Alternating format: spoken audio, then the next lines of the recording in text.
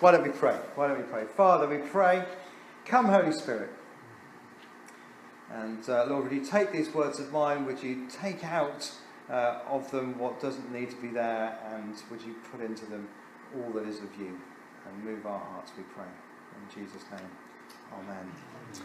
Good. Well, it's, uh, it's so good to be back as uh, open to God. Uh, I do. Uh, I get to the end of the summer and I'm really missing it. So I'm really pleased that we're able to gather together again as a as a congregation, as a as a as a family. Uh, I hope you all had a, a great summer. I did. Uh, some have complimented me on my tan. sadly, it's rust. my summer was quite wet. But we had a great time. a great time at New Wine. Uh, there was a moment when I walked into the tent of meeting, uh, which is what I like to call the main arena, um, and uh, it was the second, second to last morning, I think, and the glory of God in that place was, was like a weight. I walked in and went, whoa! like the air was thick, it was extraordinary. Amazing teaching, and I do have some CDs uh, of the teaching which I can lend out once I've sorted through them, and I'll uh, I'll try and fit some time for folk to talk a bit about their experiences in New Wine this, uh, this term. I think that'd be a good thing to do. We then had uh, most of a week on a canal boat with uh, George's parents, uh, which was really lovely. And I only badly crashed the boat once and had to buy it a new light, so that was a resounding success. They're really hard to drive, as it turns out. I got the hang of it in the end. So, yes, we're starting our series on 1 Corinthians. Do you want to throw up 1 Corinthians? There we go. Um, we're going to be doing it over two terms because we wanted to, uh, to give it space to breathe, but also uh, it lets the preachers grapple with manageable chunks of the text. So, half the letter this term, half uh, the letter after Christmas. I've also got a slot for our usual creative prayer evening that we find so helpful in stimulating our prayer lives. Our young people have got a slot, which I always really look forward to. And then I've got a couple of slots uh, for testimony, one next week. One than Alison, she's very scared. And one at the end of term for Malcolm. Um, because it just so lifts your faith when you hear the real life experience of God uh, that somebody else has had. And again, I just want to start really this term uh, reminding us that all of Open to God, all that we do here is principally for God's glory, of course, but our overriding desire is that it would equip us, that it would challenge us, encourage us, feed us, but most important, send us out. And the power of the Holy Spirit and into the lives that we lead outside uh, church to minister God's power uh, and His glory there, because we all have a ministry. We're all called to partner with God in the life that He's given us. And I think that's really so important. So, so, Bibles. Let me say something about Bibles. I really want to encourage you to bring your own Bible with you. There are lots of Bibles here, so if you haven't, that's fine, of course. And every week, if you want to use our Bibles, that's fine. But it'd be great if you brought your Bible, the one that you read, you know, the one that you get uh, stuck into, that becomes uh, part of you in a strange sort of way. I want to encourage you to write notes in it. That's not heresy. To write in your Bible, that's allowed. Write notes in it, underline sections that jump out at you, paint on it. Nicola Wood paints on her Bible. Have you seen it? It is amazing. She does creative um, stuff with her Bible as she reads it. If you want to bring a notebook too, uh, to write notes in, that's also great, though probably bring it another week when we've got a preacher worth taking notes from, I would say. So I'm going to introduce uh, St. Paul. Uh, first, uh, the letter obviously is, uh, is written by Paul, and it's always good to keep in mind the person uh, that's writing this, this letter. I'm going to talk a bit about why he wrote the letter, what the church was like that he was writing to, uh, and then we'll read the passage. Malcolm's going to do that for me, and then we're going to break it open. So, Paul of Tarsus. He enjoys quite a reputation, Paul of Tarsus, uh, often slammed for being sexist, uh, or at least having a dim view of women. I don't think that's true, personally. Um, I think he probably had a dim view of everybody. or a very high view of everyone that was just seemed difficult to live up to. I think that's a better way of looking at it. Uh, he was uh, a, definitely a difficult man uh, to get on with. He didn't pull his punches. But I think that was because for Paul, as we read this letter, we will find this again and again and again. It was all about Jesus. It was Paul's main focus. He, it was all about holiness, and he was completely focused on preaching, teaching, and living out that holiness. There just wasn't space in his brain or his life for anything else, uh, really. He knew that Jesus was coming back, as we all do, uh, but he had this sense that it would probably be within his generation. And so you can really hear that urgency uh, in his writing, and you can definitely see it in the way that he lived his life. So Paul wasn't always Paul. I think you probably know that. Uh, there was a moment when Jesus got hold of him and transformed him, but he was born as Saul. Uh, and the main thing to know about that period of his life is that he was a Pharisee. So when you read in the Gospels about the scribes and the Pharisees, Paul was a Pharisee, Saul was a Pharisee. The best and the brightest of the Pharisees, by his own admission. So, not a fan of Jesus. That's a really important thing to know. And indeed, uh, he spent many years tracking down Christians and having them arrested and punished. I don't know if you remember when uh, the crowd stoned Stephen to death, Saul was there holding the coats sort of encouraging them in what they were doing.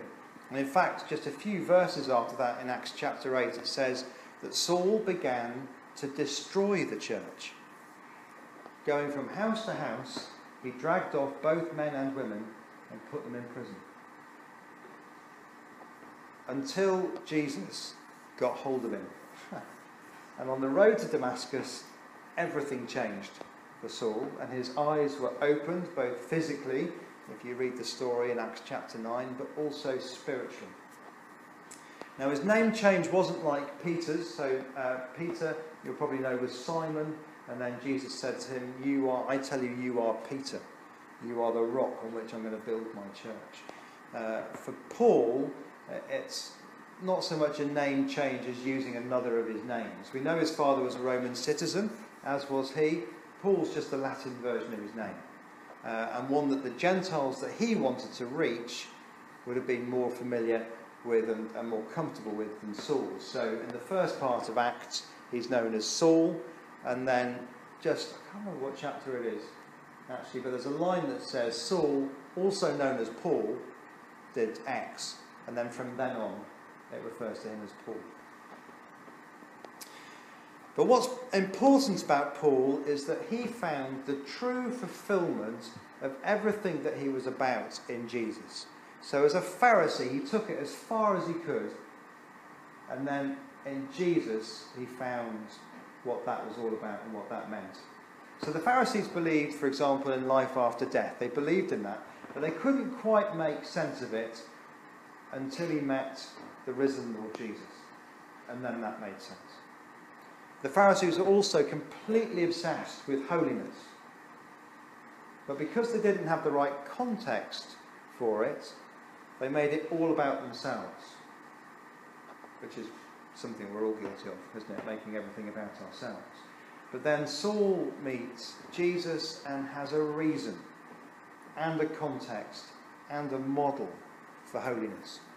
Jesus, worshipping him, emulating him, is the reason for holiness, and grace is the only way that we can manage it. The Pharisees were also obsessed with religious law, which Saul had studied to post post post-doctoral level, uh, but only finally understands it when he meets the Christ who was crucified.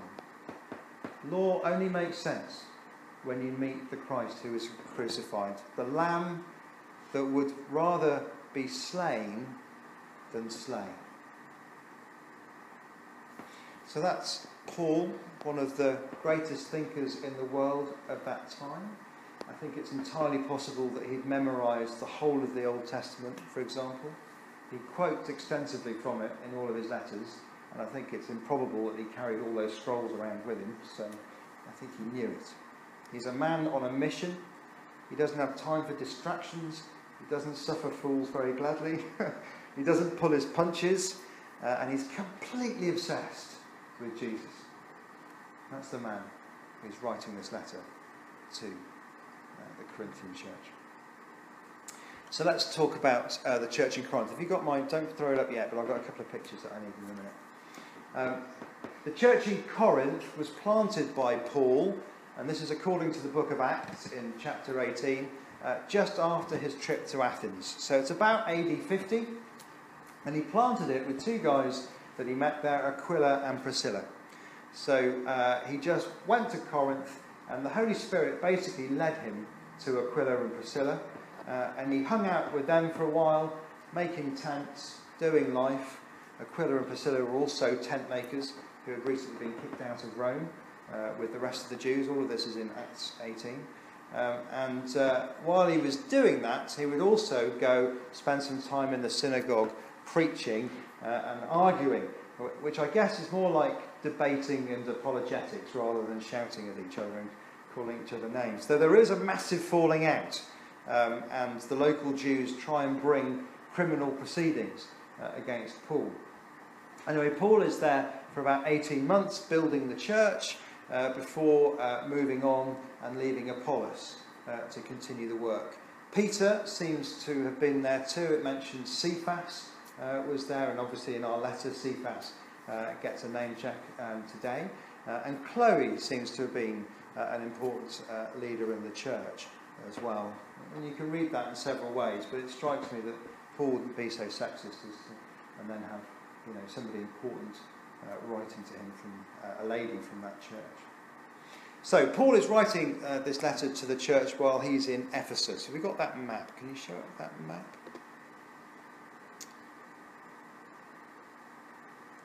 Just let the technology uh, think about it. There we go. Okay, so oh, it's a little bit blurry. Never mind. Um, what happens if I go and point? Uh, I'm going to stand on this chair and break my neck. Here we go. So Ephesus is here in modern day Turkey. Corinth is here. So we know that Paul went to, when he planted the church, he went to Athens and then he just carried on and uh, rocked up in Corinth, uh, which is there. And Corinth is sort of between well, I'll talk about this in a minute, this part of Greece and what you might call the mainland uh, of Greece.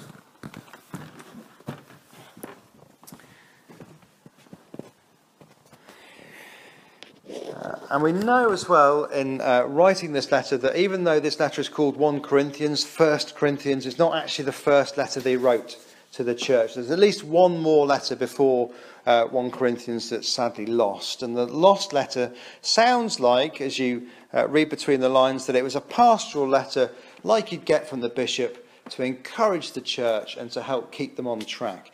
But it seems that uh, he'd encouraged them not to associate with immoral people. Elizabeth's going to be tackling this uh, in chapter 5 but they'd misunderstood his meaning completely. So Paul had to write another letter to correct that. He'd also had a letter from Chloe's people, or perhaps some of them had turned up in Ephesus, asking for a ruling on some very complex pastoral issues. So they're asking about marriage, they're asking about food offered to idols, they're asking about spiritual gifts, all of which make them sound like a top notch church wrestling with some theological issues until he also got some verbal reports disclosing problems of divisiveness, of incest, of civil litigation, of immoral, uh, immorality, of women prophesying unveiled in church. Careful of that one, uh, ladies. Of abuse of the Lord's Supper and denial of the resurrection of the body. All of that was going on in the church in Corinth, which is all pretty serious stuff. So perhaps not all was not quite as well at Corinth as they'd like the apostle to believe it was. So, what was Corinth like as a place? Because that will give us an idea, an insight into the people in the church and the culture that the church had to deal with. Well, Corinth, by the time of Paul, it was an important Roman colony in Greece, and it sat on the isthmus connecting the Greek mainland with the Peloponnesian Peninsula. And I've no idea what I've just said. I didn't pronounce Pilo. Pilo what? Pilo Peninsula. Anyway, throws the other slide up. Here we go. Google Maps from the first century. It's brilliant. Um, this is an isthmus. Who, who knew that? Who knew what an isthmus was? Did you really? Yes, I had to look it up. To a geographer. Oh, yes, that's true. You knew what an isthmus was? Yes. So an isthmus is a. Be careful. I don't know. It's, it's a small piece of land that acts as a land bridge between the mainland and what might have been an island. There you go. And Corinth is in that sort of small bit of land there. Um, it's got a canal across it now that you can see, but that was built in the 19th century. Um, in Paul's day, smaller boats would have been taken out of the sea and then dragged across the land and put back in on the other side, and vice versa, because it saved ages of sailing round in quite uh, tricky seas. Um, sorry? It's, it's about that big. I don't know.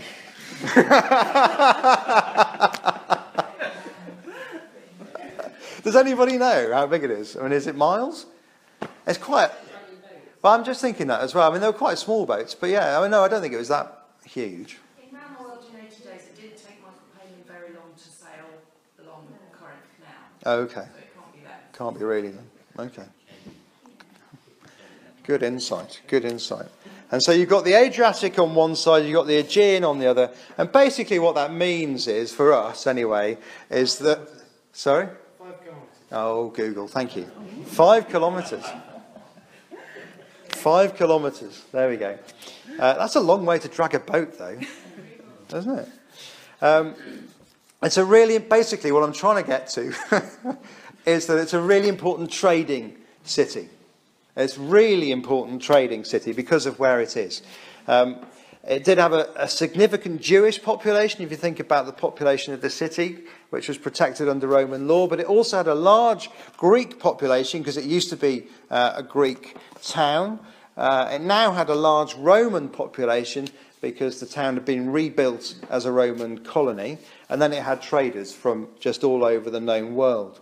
There's some debate uh, whether the description of the temple to Aphrodite with its 1,000 temple prostitutes is accurate, uh, but it is a Roman seaport, and so the culture wouldn't have been far from that in any case.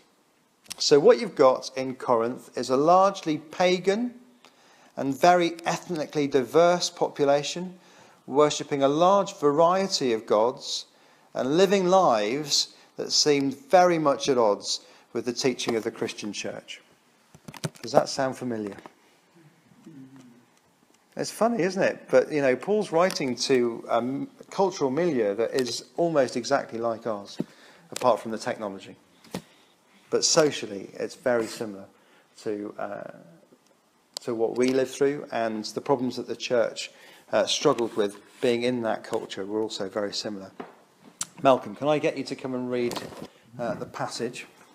If you've got a Bible, do you want to turn to 1 Corinthians chapter 1? Nick, do you want to throw. 1144. Sorry? And page is 1144. 1144. If I give you a microphone, then you can. Thank you.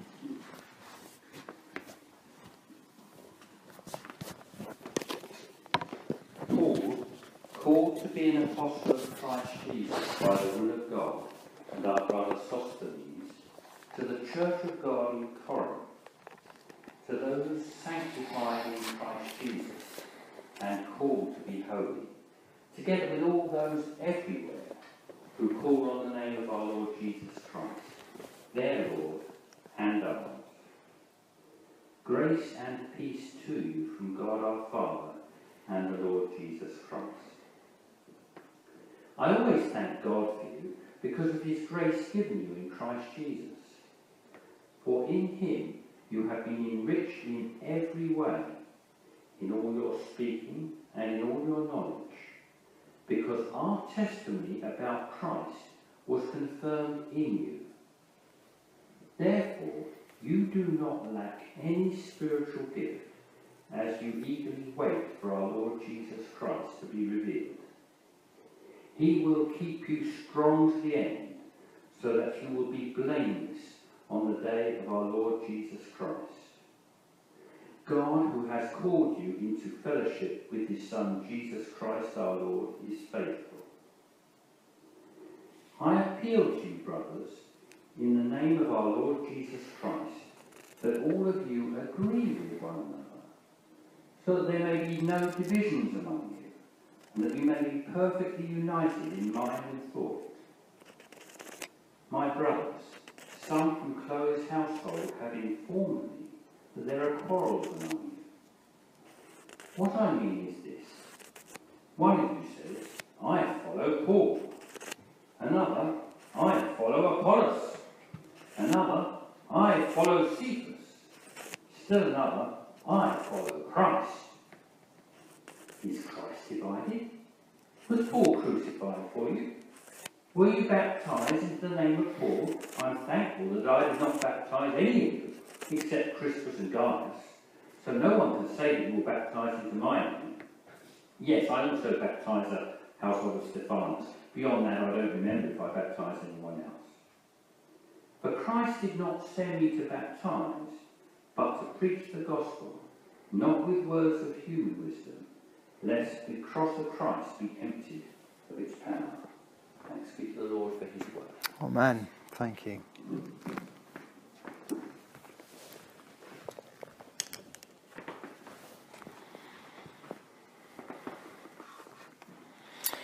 So, if we look at uh,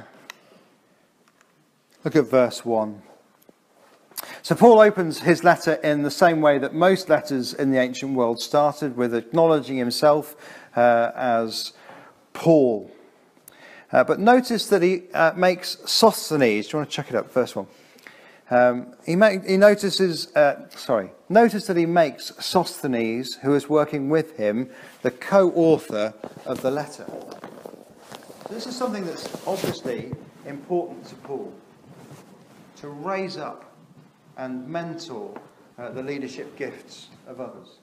Uh, and if you want to see who Sosthenes is, and Crispus, actually, uh, that's mentioned a bit, uh, bit later, and why it's remarkable that Sosthenes is Paul's apprentice, then I uh, encourage you to read the first few verses of Acts 18. Verse 2 is the uh, address line. Paul is writing to the church in Corinth, together with all those everywhere who call on the name of our Lord Jesus Christ, their Lord and ours. So that's us isn't it? Even 2,000 years later, that's us. And notice that Paul calls them sanctified and called to be holy. He doesn't waste words, Paul. There's no fat to be trimmed in his letters. So he's deliberately reminding them that God is sanctifying them, God is sanctifying us, this means making them holy, making us holy, but they are also called to live holy lives. So it's a partnership with the Holy Spirit. These are all kind of laying the foundations for what uh, he wants to say. So, verse 4. I always thank my God for you. The headline of the letter now. What is the most pressing thing that Paul wants to say? that will be the context for everything else that he will say in the rest of his letter. God has richly blessed you. You have been enriched in every way with all kinds of speech and with all kinds of knowledge, which he says demonstrates that Paul's preaching about Jesus is true. So they are a church rich in the manifestations of the Holy Spirit speaking in tongues, words of knowledge, prophecy, healing. There is, he says, no spiritual gift that has been withheld.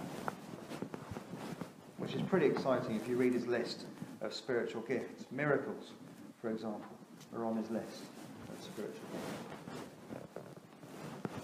He will also keep you firm to the end, so that you will be blameless, as Jill said, on the day of our Lord Jesus Christ. God's promise is that if you remain in him, he will remain in you, so that when Jesus returns and we meet him at the judgment, we will be blameless before him. I could just stop there, couldn't I? That was a remarkable thought. We will be blameless before him. That's what the cross means. Or as Paul puts it in Romans chapter 8, there is now no condemnation for those who are in Christ Jesus. God is faithful. Verse 9. Paul says uh, in this letter, He has called you into fellowship with His Son, Jesus Christ our Lord. And remember that what God means by fellowship or relationship is the Trinity. So God is relationship, He is fellowship. That is what the Trinity is. So therefore, that's what God means when He talks about relationship. So when He says that God has called you into relationship or fellowship, to use another word, with Jesus Christ, He means in the same sense as the Trinity. That's the level of relationship that God uh, wants with you. So Paul sets up in these verses the context of who they are. They are the church of Jesus Christ. And there is no levels of, of mystery to ascend in this. It's not like you start out as a level one Christian and you can name the persons of the Trinity, level two, and you can pray in public, and then by 11, you're prophesying, healing the sick, and raising the dead. That's, that's not how it works. No, you do not lack any spiritual gift. What Paul says to them.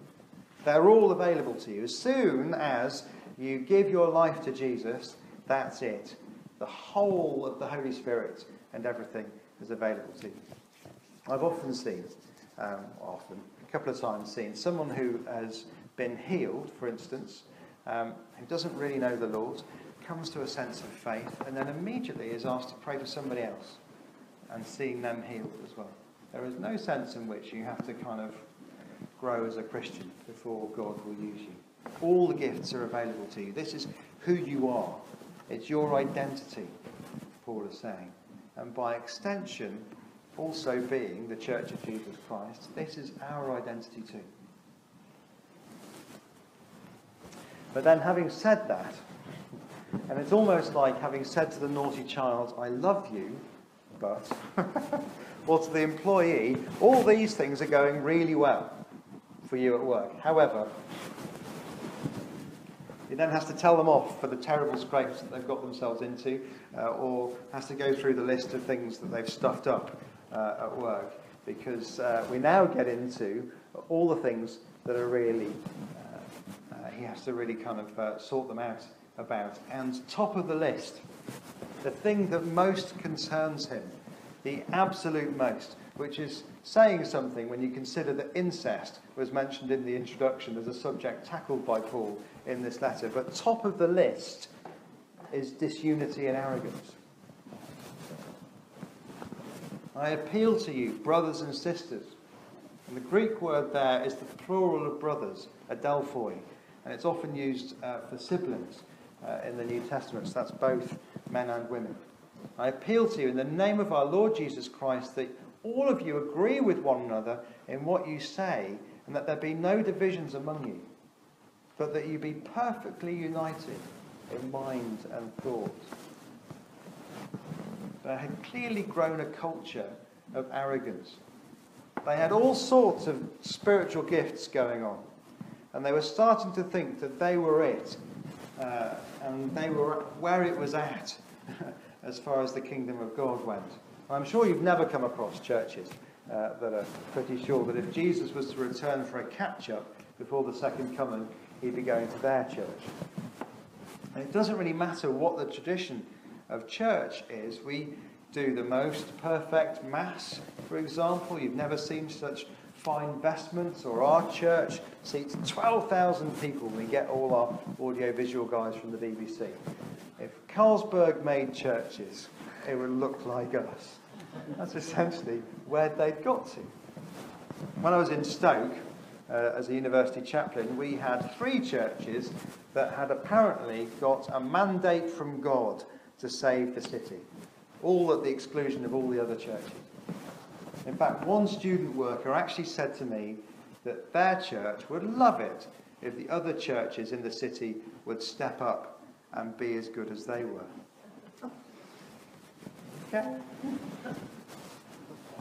So one of them in, in Corinth, do you want to just yeah, click on to the next? One says, I follow Paul. Another says, I follow Apollos. Another, I follow Cephas, which is Peter. Still another, playing the winning card in this game of apostolic top trumps, says, Well, I follow Christ. So there. Is Christ divided? Was Paul crucified for you? Were you baptized into the name of Paul? No. Christ didn't send me, Paul says, to baptize, much as he loved baptizing, but to preach the gospel, and not with wisdom and eloquence, lest the cross of Christ be emptied of its power. Because all of this is foolish.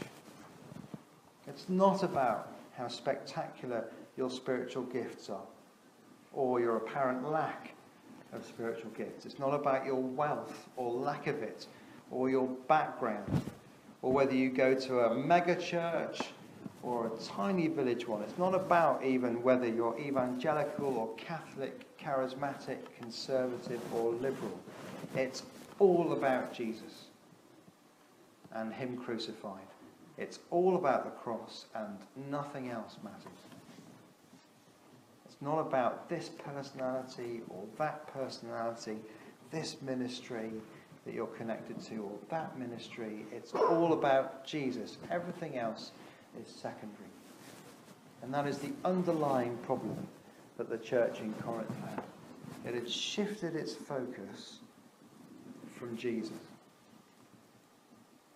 It had become about them, about what they could do, about what their needs were, about what they could justify because of who they were and whose faction they belonged to. And in taking their eye off Jesus, it had led them into all sorts of problems, as we will see in the coming weeks. Let's finish there. Let's take a, a moment to reflect. I'm going to pray. Let's process a bit um, and uh, allow God, by His Holy Spirit, to bring things up or to cement things that He's highlighted for us, the underlying things in your Bible. Remember that we will pray with you if there's anything you'd like to pray through. Let's just take a moment of quiet.